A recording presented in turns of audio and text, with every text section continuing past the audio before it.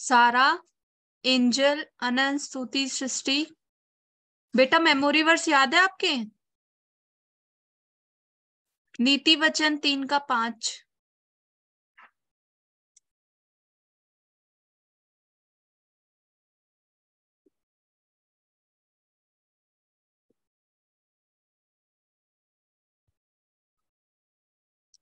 सारा? जी दीदी। हाँ बेटा सुनाओ। दीदी मुझे नहीं पता था कि मेमोरी वर्स मिली है। अच्छा अच्छा कोई नहीं बेटा। अनंत स्तुति सृष्टि?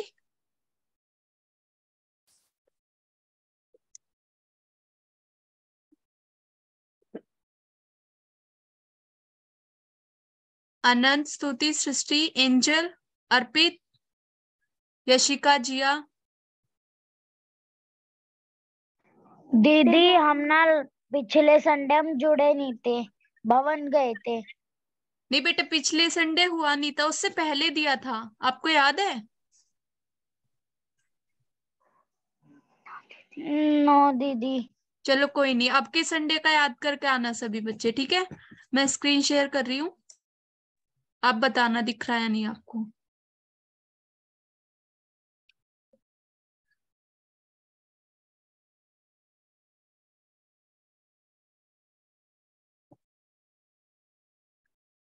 दिख रहा है बेटा?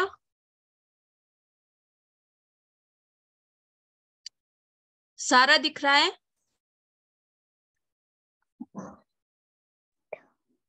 नो दीदी अभी लोडिंग हो रहा है। हाँ अब आ गया। अच्छा। तो वीडियो ऑन कर लो पहले सभी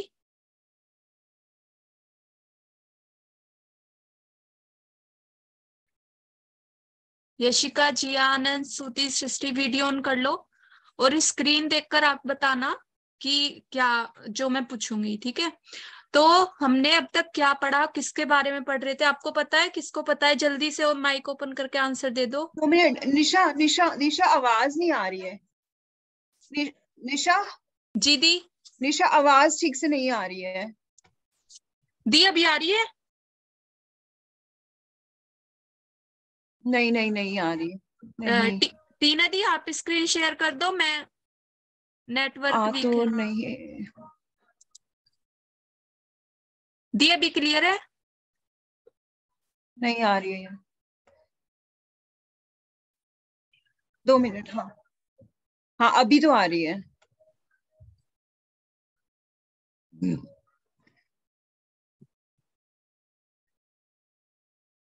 अच्छा वीडियो ऑन कर लो सभी बच्चे और जो मैं पूछूँ आप बताना ऑन करके तो हम किसके बारे में पढ़ रहे थे?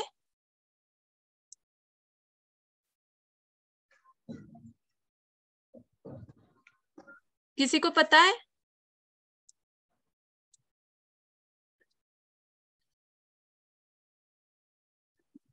अनंत, सूती, सृष्टि।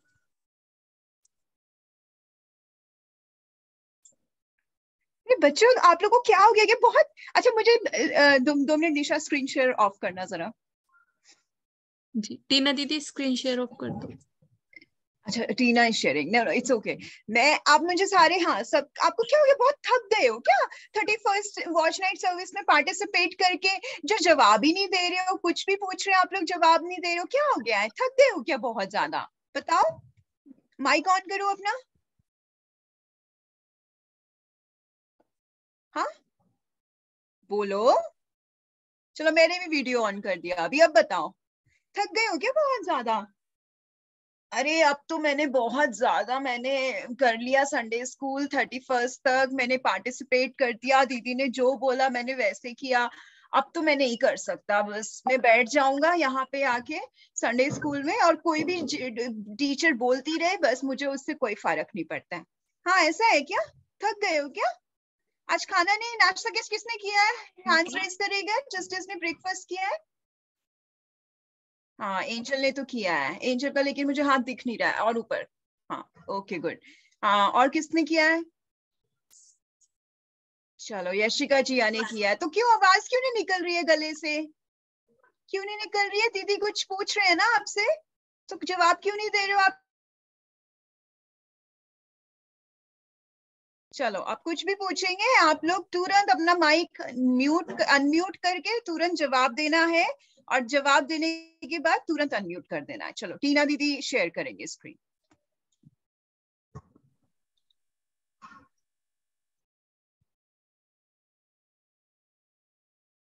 अच्छा तो इतने दीदी स्क्रीन शेयर कर रही है, आप बताओ, इजरायलियों इजरायली इजरायली जो लोग थे वो किसके अंडर रहते थे? फिरौन जो था वो कहाँ का राजा था? जो इजरायली लोग थे वो किस देश में रह रहे थे? और फिरौन कहाँ का राजा था? नहीं आ रहा याद? जब उन पर महामारी आई थी दस विपत्ति आई थी। हाँ बेटा बोलो।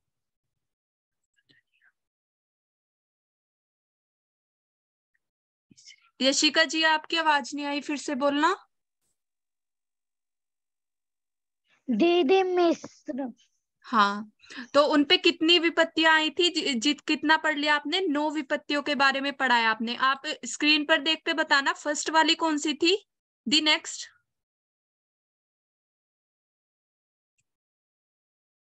जब मिस्र का राजा फ्रोन इसराइलियों को जाने नहीं दे रहा था तो परमेश्वर ने कहा था कि मैं फिर उनके मन को और कठोर कठोर कर दूँगा और चमत्कार दिखाऊँगा। तो पहली जो महामारी आई थी इसराइलियों पर वो कौन सी महामारी आई थी? दीदी। हाँ बेटा सारा बोलो। दीदी आपकी आवाज़ पूरी ठीक से नहीं आ रही है।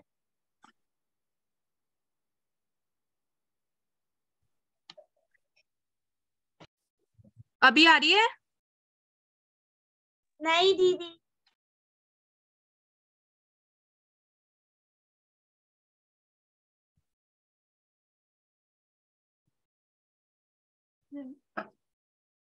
अभी आ रही है बेटा? हाँ दीदी अब आ रही है। हाँ तो आ, आप स्क्रीन पर देख के बताइए फ़र्स्ट सबसे पहली महामारी कौन सी आई थी?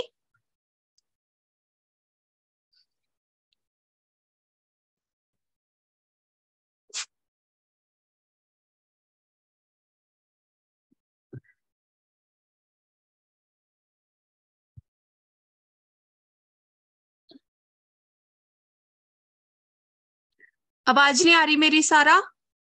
दीदी अब आ गई। इस पे तो फ़ोन नहीं ना पकड़ा जा रहा बार बार दी आपका स्क्रीन शेयर नहीं दिख रहा।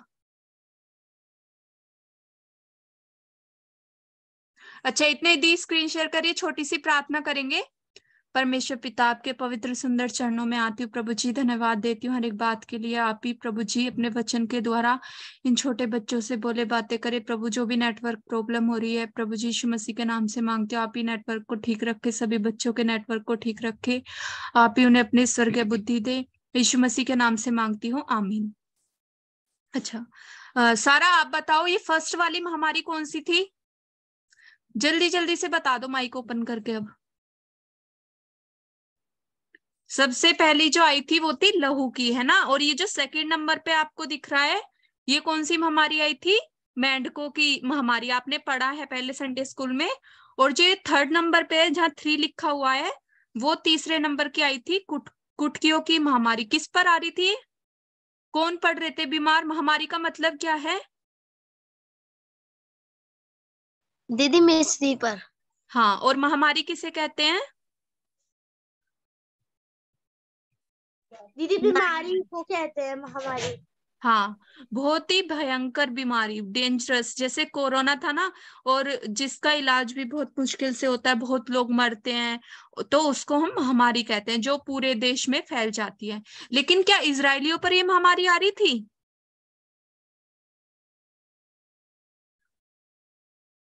नहीं। हाँ और दी नेक्स्ट फोर्थ नंबर की कौन सी थी? किसी को पता है? फोर्थ नंबर की कौन सी थी? दीदी मक्खियों की? हाँ डांसों की महामारी और फिफ्थ नंबर पे?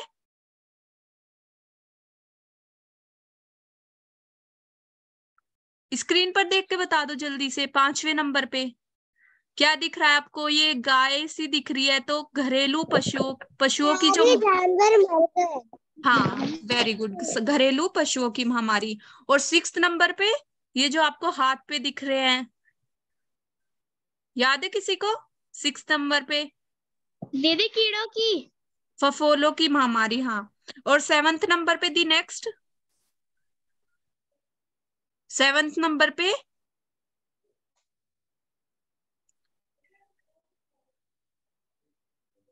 बारिश से बारिश होती है तो कुछ और भी गिरता है ना? क्या दिख रहा है? ओले गिर रहे हाँ। हैं। और एट्थ नंबर पे जहाँ पे एट लिखा है वहाँ से देख के बता दो जल्दी से। दीदी मेंढक टिड्डियों की बेटा टिड्डियों की महामारी। और नाइन्थ नंबर पे नाइन्थ नंबर पे क्या दिख रहा है आपको? क्या है अंधेरा बहुत ही ज़्यादा अंधेरा किसी को कुछ भी दिखाई नहीं दे रहा था।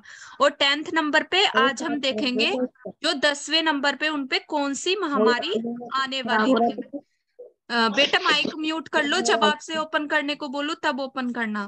तो आज हम टेंथ नंबर पे देखेंगे कौन सी महामारी आने वाली थी। अच्छा उससे पहले ये बताओ आप उन पर ये सब आ क्यों रही थी? परमेश्वर तो हमसे प्रेम करते हैं वो तो हमें बीमारियों से ठीक करते हैं पर यहाँ पर परमेश्वर ही महामारी ला रहे हैं। क्यों ऐसा हो रहा था?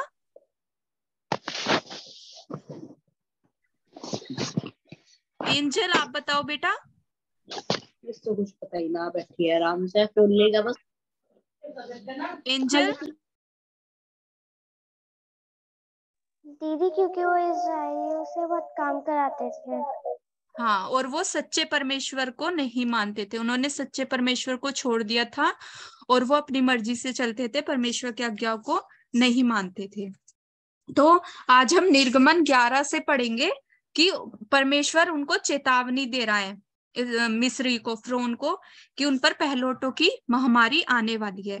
परमेश्वर मूसा से बोलते हैं, परमेश्वर किसके द्वारा इजराइल, मिस्रियों को चेतावनी देता था? फिरौन को चेतावनी देते थे। किसके द्वारा? मूसा। हाँ और उसके साथ कौन थे? हारून। हाँ तो परमेश्वर मूसा से बोलते हैं दी नेक्स्ट कि एक और विपत्ति एक और महामारी मैं फिरौन और मिस्र देश पर डालता हूँ। परमेश्वर मूसा से क्या बोलते हैं कि एक और विपत्ति और महामारी मैं मिस्र देश पर डालूँगा और ये आखिरी होगी, इसके बाद तुमको जो फिरौन है, वो ज़रूर जाने देगा वहाँ से खुशी खुशी ये आपको दिख रहा है ना स्क्रीन पर कि पहले वो कैसे रहते थे? दुखी, परेशान, अभी वो क्या थे? वो फिरौन के, उसमें थे, अंडर थे। फिरौन की बात माननी पड़ती थी, बहुत मेहनत कराता था, उनको खाने के लिए भी नहीं देता था। तो अब यहाँ पर अब क्या होगा? परमेश्वर उनको वहाँ से निकाल लेंगे। देखो, आपको स्क्रीन पे दिख रहा है, सब खुशी खुशी जा रहे हैं। तो अभी हुआ नहीं है, उनके साथ ऐसा होगा। परमेश्वर ने ये बोला कि वो अब उसके बाद निकाल देगा, फिरौन जो है। और नेक्स्ट दी, फिरौन जो है वहाँ से, लेकिन परमेश्वर ने उससे पहले ये हमने देखा था कि इसराइलियों की हालत क्या थी। देखो, आपको स्क्रीन पर दिख रहा है ना, कैसे फिरौन उन पर अत्याचार करता था, उनको मारता था। काम भी करा रहा है, स्क्रीन पर देखिए आप ध्यान से काम भी करा रहा है उनसे, उनको खाने के लिए भी नहीं दे रहा, उनको मार रहे हैं लोग, जो फिर उनके कर्मचारी थे वो सब मारते थे। दी नेक्स्ट तो परमेश्वर बोलते हैं कि तू क्या करना, जो एक एक पुरुष एक एक स्त्री क्या मांग के लिया ना सोना, चांदी, ये सब तुम वहाँ लोगों, मिस्र के लोगों से, पुरुष जो है वो मिस्र के पुरुष से और जो स्त्री है वो अपने पड़ोसी से सोने चांदी के गहने मांग ले। दी नेक्स्ट और परमेश्वर ने फिर जो मिस्र देश थे वहाँ के लोगों को क्या किया? उन पर दयालु किया। मिस्रियों को अपनी प्रजा पर दयालु किया। अच्छा एक बात बताओ, यहाँ पर देखो वो हेल्प कर रहे हैं मिस्री तो यहाँ क्यों कर रहे हैं? क्योंकि परमेश्वर ने उन पर दयालु दयालु किया, उनके मनों में डाला कि ये जो है इसराइलियों की हेल्प करें, जो मिस्र के लोग हैं, सोना चांदी देकर। तो क्या परमेश्वर पहले नहीं कर सकते थे? पहले भी दयालु कर सकते थे? पहले भी वो निकाल सकते थे? आपके मन में ये क्वेश्चन नहीं आया कि पहले परमेश्वर ने ऐसा क्यों नहीं किया? वो तो ऐसे भी निकाल सकते थे। क्यों परमेश्वर ऐसा कर रहे थे? क्यों बाबर कठोर कर रहे थे उसके मन को फिर उनके मन को? तो कोई बताएगा?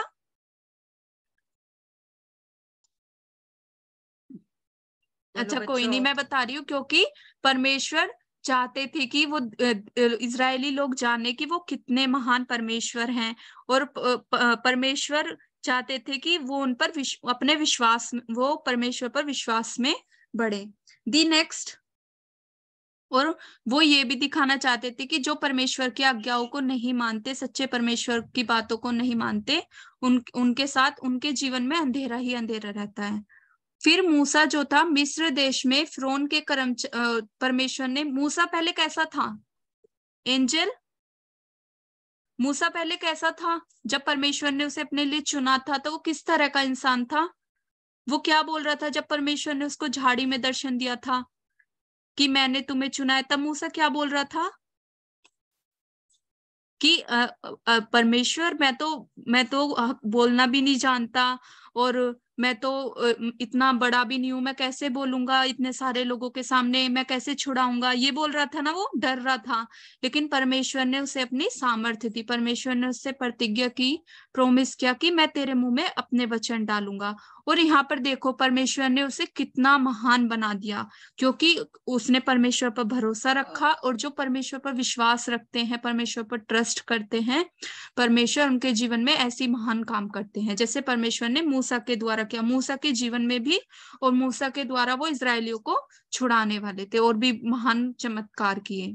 दी नेक्स्ट तो हम क्या देखते हैं इससे कि अगर हम दुखी हैं, परेशान हैं तो और डरे हुए हैं कि हम, हम- मुझसे तो कुछ नहीं हो सकता और मेरे से मेरी पढ़ाई समझ में नहीं आती, मैं बहुत परेशान हूँ। ये आपको दिख दिख रहा है ना इधर लेफ़्ट हैंड साइड में कि ये कैसे परेशान है, दुखी है? मैं तो परमेश्वर, मैं कैसे परमेश्वर के वचन के बारे में बताऊँगा? मैं तो छोटा सा बच्चा हूँ और मैं कैसे परमेश्वर का वचन बांटूँगा? मेरे अंदर इतनी पावर भी नहीं है।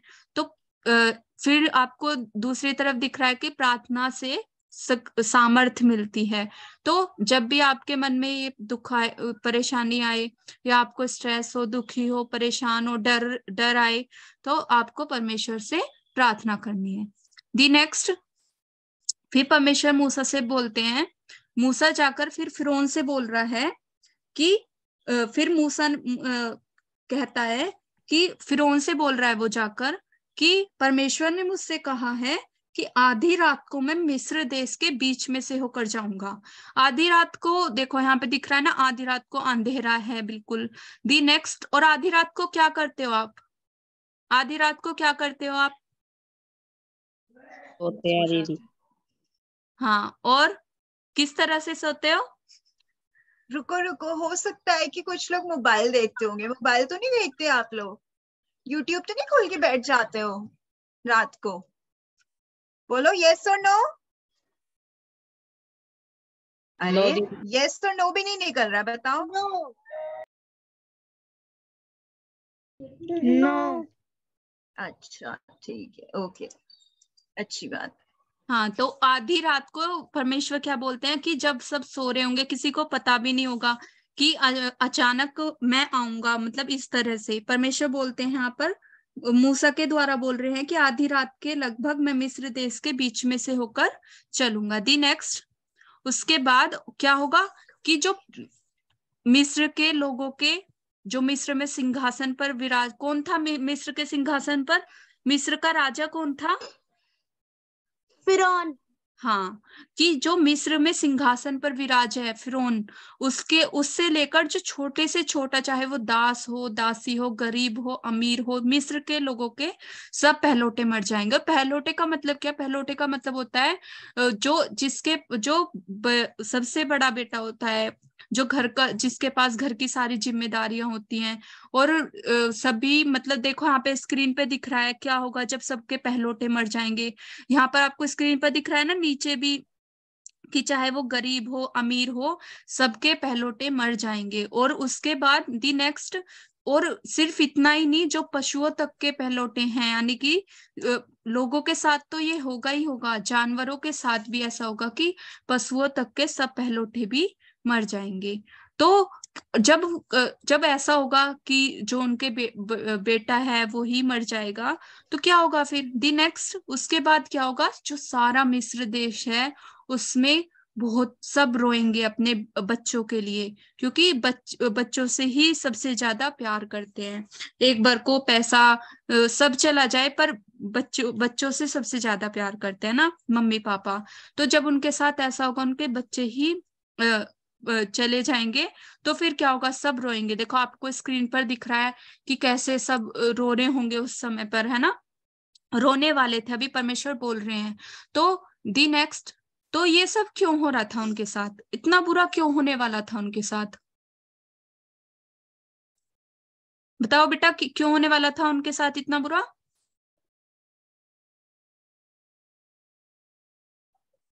कितनी बार सब बताया ना दीप्ति दीदी ने भी बताया। क्यों ऐसा हो रहा था? दीप्ति दीदी ने दो बार लेसन लिए पिछली बार। दीदी क्योंकि वे परमेश्वर की आज्ञा नहीं मानते फिर से फिर से बेटा अनंत दोबारा से ज़ोर से बोलो सुनाई नहीं दिया। दीदी फिर क्योंकि वे परमेश्वर की आज्ञा नहीं मानते थे। हाँ और जब हमारे जीवन में परमेश्वर नहीं होता, चाहे हमारे पास कितने भी पैसे हो, कितने भी ज्ञान हो, या कुछ भी हो, हमारे पास, अगर हमारे पास परमेश्वर नहीं है तो हमारा जीवन एकदम बेकार है। अच्छा अब आप बताइए, आप किसकी तरह बनना चाहते हो? खुश रहना चाहते हो? ये जो दिख रहा है आपको पिंकी दिख रही है, इसकी तरह खुश, परमेश्वर के आनंद से भरे हुए, या चिंटू की तरह से रोना चाहते हो अपनी लाइफ में? दुखी, परेशान? किसकी तरह बनना चाहते हो आप? पिंकी की तरह। पिंकी की तरह। अच्छा। पिंकी की तरह। हाँ और कैसे बन सकते हो आप ऐसा? परमेश्वर की बात मान के। हाँ प- परमेश्वर की आज्ञा पे चल के। हाँ परमेश्वर से प्रार्थना करके वचन पढ़ के परमेश्वर की बात मान के एक दूसरे से लड़ाई झगड़ा नहीं करना प्यार के साथ रहना है ना? इस तरह से हमारे जीवन में क्या होगी? खुशी ही खुशी होगी। अगर हम ऐसा नहीं करेंगे तो जैसे मिस्र के लोग रो रहे थे और वो रो उनके जीवन में सिर्फ़ दुख ही दुख आ रहे थे परेशानी आ रही थी और तो हम, फिर हमारे जीवन में भी ऐसा होगा। इसलिए हमें परमेश्वर के पीछे चलना है ताकि हम पिंकी की तरह खुश रह सके। चाहे हमारे ऊपर कोई भी परेशानी आए हम फिर भी परमेश्वर के आनंद से भरे रहे। दी नेक्स्ट और परमेश्वर एक और बात बोलते हैं कि ऐसा होगा कि आज तक कभी भी ऐसा नहीं हुआ होगा। इतना दुख इतनी भी विपत्ति उन लोगों पर आएगी मिस्रियों पर इसराइलियों पर नहीं। इसराइलियों के लिए परमेश्वर ने क्या प्रोमिस किया? इसराइलियों के लिए परमेश्वर ने प्रोमिस किया कि मैं उनको बचा लूँगा और या कोई मनुष्य भी उनको नहीं रो, रोक पाएगा। और कोई मनुष्य तो क्या? कोई आदमी तो क्या? या औरत तो क्या? कोई पशु तक भी यानी कि ऐसा होगा कि जैसे आप सड़क पे जाते हो अंधेरे में जा रहे हो या आप सड़क पे जा रहे हो तो आप पर कुत्ते भोंकने लगते हैं? है ना? डर लगता है आपको कुत्ते के भोंकने से? हाँ। हाँ। दीदी हाँ। और उनके डर से बहुत से बच्चे घर से बाहर भी नहीं निकलते होंगे है ना? या मम्मी के साथ जाते होंगे डर लगता होगा। तो लेकिन परमेश्वर क्या बोलते हैं कि मैं ऐसा करूँगा कि कोई मनुष्य भी उनको नहीं रोक पाएगा और कोई पशु भी उनको नहीं रोक पाएगा। तो परमेश्वर कितना प्यार करते हैं इसराइलियों से। जो लोग परमेश्वर के पीछे चलते हैं, परमेश्वर उनकी रक्षा करते हैं। दी नेक्स्ट और परमेश्वर बोलते हैं कि ऐस, ऐसा इसलिए होगा ताकि तुम जान लो कि मिस्र और इसराइलियों में परमेश्वर अंतर करते हैं। यानी कि जो परमेश्वर के पीछे चलते हैं परमेश्वर उनकी मदद करते हैं उनकी रक्षा करते हैं उन्हें अपने प्रेम से भरते हैं आनंद से भरते हैं। तो फिर देखो यहाँ पे स्क्रीन पे दिख रहा है ना ये फ्रोन सिंहासन पर बैठा हुआ है मूसा बातें कर रहा है। मूसा से बोलते हैं कि ऐसा होगा अगर कट रही है निशा। दिया भी आ रही है? दोबारा से बोल। निशा दोबारा से बोलना आवाज़ कट गई। अच्छा देखो बच्चों आपको स्क्रीन पर दिख रहा है ना ये सिंहासन पर कौन बैठा हुआ है? राजा के सिंहासन पर। कौन बैठा है? जो हाँ गुड हाँ और ये बातें कौन कर रहा है इससे? हाथ में लाठी लिए हुए। मूसा। हाँ और उसके पीछे एक और खड़ाई कौन है? हारून। हम्म. तो क्या बोल रहा है मूसा?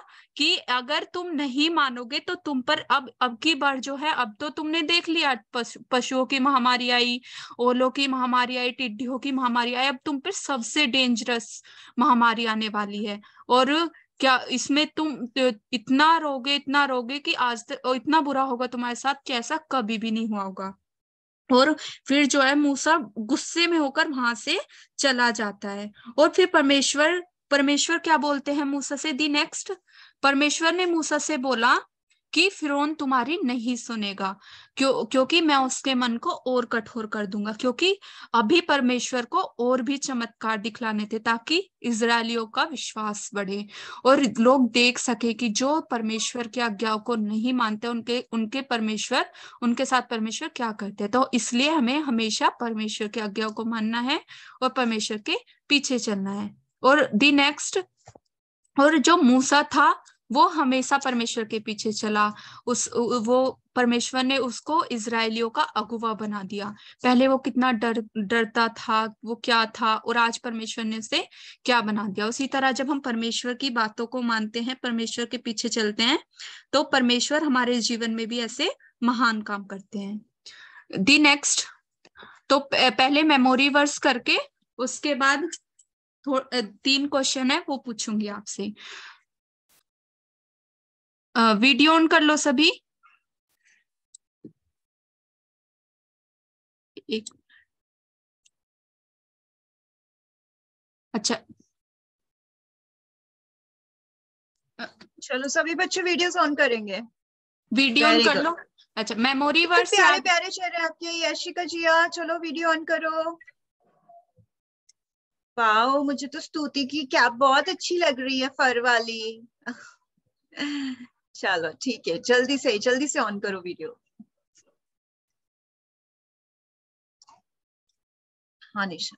हाँ तो जैसे मैं एक्शन करूँ, एक बार मैं करके बता रही हूँ, अगर आपको समझना है फिर से रिपीट करूँगी, ठीक है?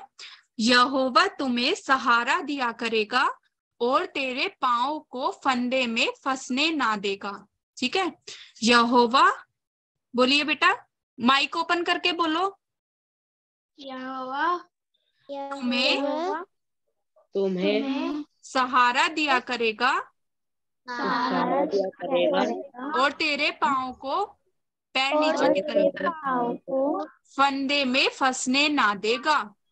फंदे में फंसने ना देगा। नीति वचन नीति वचन तीन का छब्बीस। छब्बीस। हाँ। यहोवा तुम्हें यहोवा तुझे सहारा दिया करेगा। और तेरे पाँव को और तेरे पाँव को फंदे में फंसने ना देगा। फंदे में फंसने ना देगा। नीति वचन वचन तीन का छब्बीस। तीन का छब्बीस। एक और बार लास्ट बार। यहोवा तुम्हें यहोवा तुझे सहारा दिया करेगा। दिया करेगा। और तेरे पाँव को और तेरे पाँव को फंदे में फंसने ना देगा। फंदे में फंसने ना देगा। नीति वचन तीन का छब्बीस। वचन वचन तीन का छब्बीस। हाँ अब अब क्वेश्चंस की बारी है। अब क्वेश्चंस पूछूँगी सिंपल से है। माइक ओपन रखना आपने बता देना जल्दी जल्दी। दी नेक्स्ट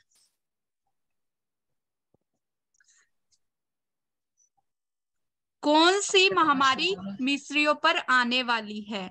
कोरोना या पहलोटो की महामारी? पहलोटों की पहलोटों की महामारी हाँ दी नेक्स्ट परमेश्वर ने मिस्रियों से क्या मांगने की आज्ञा दी? दी नेक्स्ट क्या मांगने की आज्ञा दी? खाना या सोना चांदी? सोना चांदी। सोना लाने के लिए। सोना चांदी। हाँ सोना चांदी। दी नेक्स्ट आज क्या सीखा? फ़र्स्ट नंबर पर है, परमेश्वर ही सच्ची खुशी, ग्रीन कलर है। आप कलर से बताना कौन से वाला कलर है, ठीक है? ब्लू कलर है, परमेश्वर के बिना हमारा जीवन बेकार है। और रेड है, परमेश्वर अपने बच्चों की रक्षा करते हैं। और पिंक है, ये सभी। क्या सीखा आपने आज?